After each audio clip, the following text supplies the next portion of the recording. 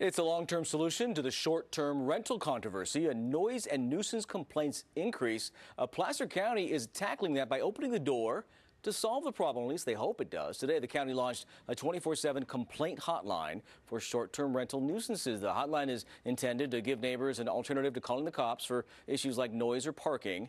Uh, complaints are anonymous. Placer County has more than 4,000 registered short-term rental properties, most of them in the Tahoe region.